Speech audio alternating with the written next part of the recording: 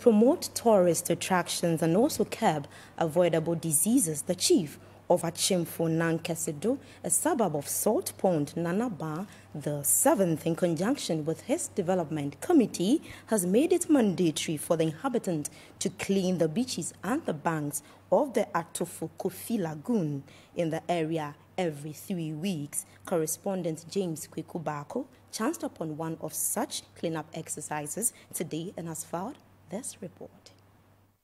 Historically, Saltpond is seen as the pace setter for politics in the country.